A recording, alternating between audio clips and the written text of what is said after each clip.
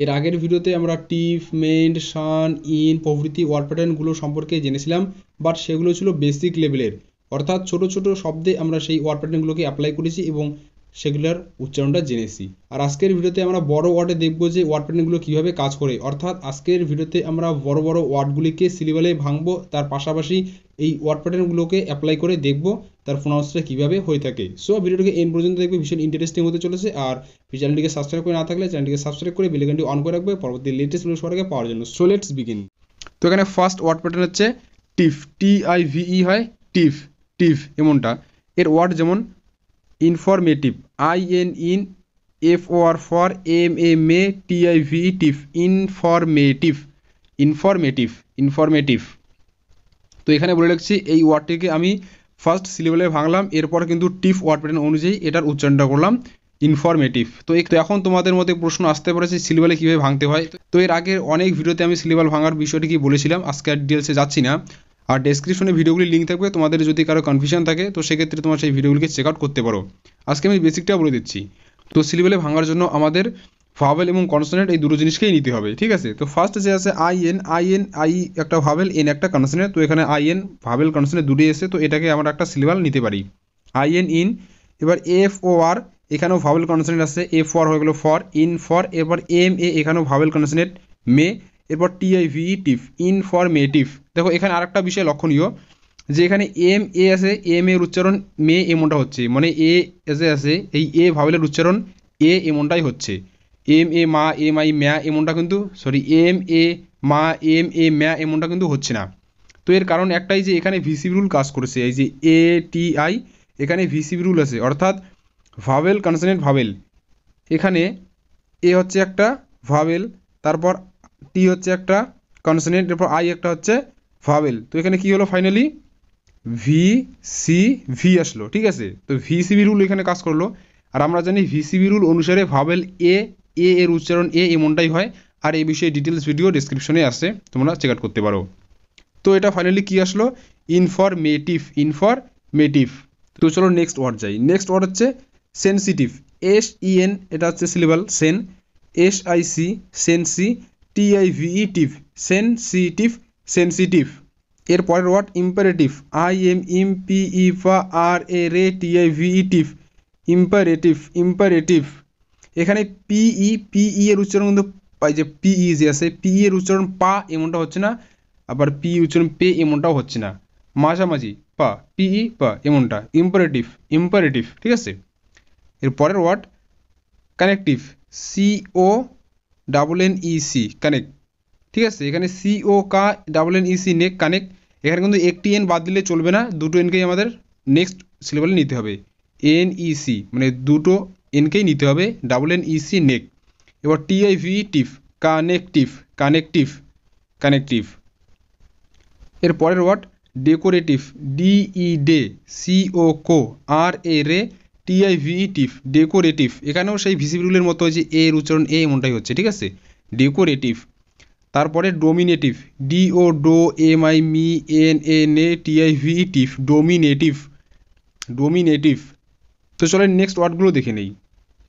Next হচ্ছে objective O B ob J E C jec object T I V E tive objective objective তারপর suggestive S ইউসা double G E S jes such as T I V E tive এখানে double G আসার জন্য দুটো গ বা দুটো ব্যঞ্জনবর্ণ আমরা নেব, সেটা কিন্তু না। ইংলিশে ডাবল জি হোক বা ডাবল বি হোক মানে ডাবল লেটারের উচ্চারণ একই হয়, ঠিক আছে? একটি হবে। সাজেস্টিভ সাজেস্টিভ এরপর সেপারেটিভ S E se P A pa R A re T I V E টিভ সেপারেটিভ separative separative তারপর violative V I O vio L A le viole T I V E violative violative তো চলো next word pattern যাওয়া যাক। তার আগে তোমরা যারা এখন চ্যানেলটিকে সাবস্ক্রাইব করে রাখুন, তো চ্যানেলটিকে সাবস্ক্রাইব করে বিলঘন্টি অন করে রাখবেন। পরবর্তী লেটেস্ট ভিডিও সবারকে পাওয়ার জন্য। তো নেক্সট ওয়ার্ড প্যাটার্ন আছে? Shun T I O N এর ওয়ার্ড যেমন direction D I di R E C rec direct T I O N shun direction direction তারপর হচ্ছে condition C O N con D I D condi T I O N shun condition condition next meditation M E me D I D T A te me D te I O N shun meditation meditation তারপর হচ্ছে aspiration A S S P I P S P R A re aspire T I O N shun aspiration aspiration deposition D E D P O po depo S I G ডিপোজিটিএনশন deposition deposition এরপর motivation M E mo T I T moti V A ve motive T I O N shun motivation motivation এরপর separation S E se P A pa R A re separe T I O N shun separation separation separation next protection P R O pro T E C tec protection T I O N shun protection protection এরপর dedication D E de D I D dedi ke dedike T I O N shun dedication dedication dedication imposition I M im P O po impo S I G imposition T I O N shun imposition imposition next convention C O N con V E N ven convention T I O N, shun, convention convention. তারপর opposition, O double P O, oppo, S I G, opposition, T I O N, shun, opposition.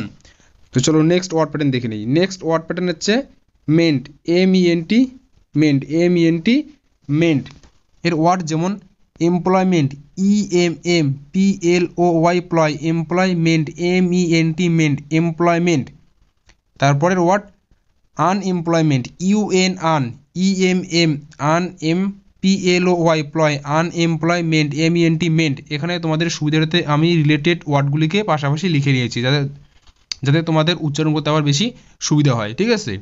তো একটা কথা বলে রাখছি, তোমরা কিন্তু এই ওয়ার্ডগুলিকে অবশ্যই অবশ্যই খাতায় লিখে প্র্যাকটিস করবে। খাতায় লিখবে এবং সেগুলোকে প্র্যাকটিস করবে তাহলে ব্যাপারটা ক্লিয়ার হয়ে যাবে, ঠিক আছে?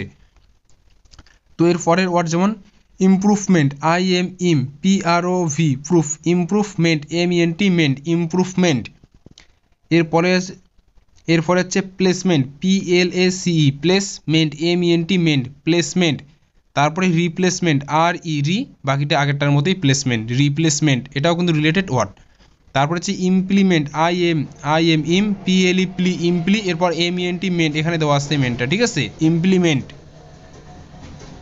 এরপরে আসলো appointment A double P O I N T appointment M N T ment এখানে কিন্তু অ্যাপয়েন্ট এটাকে আর অন্য সিলেবলে ভাঙানো যায় না। এটা একটাই হবে, তারপরে ওয়ার্ড প্যাটার্ন মেন্ট আসলো, ঠিক আছে? অ্যাপয়েন্টমেন্ট তারপর compartment C O M com P A R T part compartment M E T ment compartment compartment এরপর measurement M E A S U R measurement M E N T ment এটাকেও সিলেবলে ভাঙানো যায় না। Measurement okay এবার হচ্ছে displacement D I S dis P L S C place displacement M E N ment displacement তারপর development D E V E deve L O P lop development M development development এরপর instalment I N S ins T A double L tal instalment M E N ment instalment তো গাছ ভিডিওটি যদি ভালো লাগে থাকে like দিয়ে চ্যানেলটি সাবস্ক্রাইব করে বেলঘন্টা অন করে পরবর্তী লেটেস্ট নিউজ সবার পাওয়ার জন্য। আর আজকে ভিডিওটি এখানে এসে তোমরা যদি চাও যে এই সিস্টেমে চালু রাখি তাহলে কমেন্টে অবশ্যই জন্য আমি সেই বিষয়ে আবার ফেরাতে ভিডিও আপলোড করব। So keep watching and keep learning